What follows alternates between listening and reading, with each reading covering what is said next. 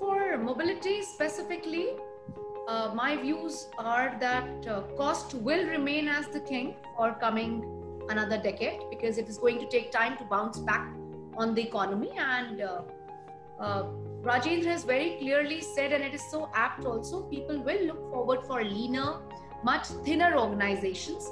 All those bureaucratic systems which were existing will not be existing anymore.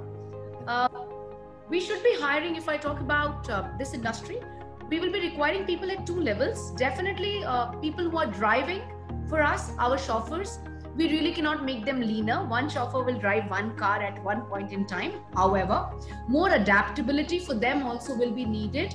It is very, very important that whosoever, so two layers of recruitment, I guess, would, would exist. One is the key SME, subject matter experts. Those can be the technical experts in any industry, or those can be the chauffeur, for example, for my industry.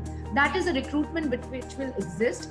For the rest of the setup of the organization, it will be much leaner. We have already transformed into a much leaner you know environment because cost will remain as the king for the benefit of and for the survival of the organization it is very important to keep the cost at the core uh, the key skills which i will look forward other than the sme roles will be definitely thorough leadership.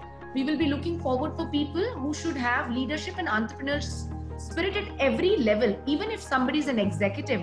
It is very important that we hire people with a mindset who can take ownership and not only stay focused to one kind of that's my job kind of a routine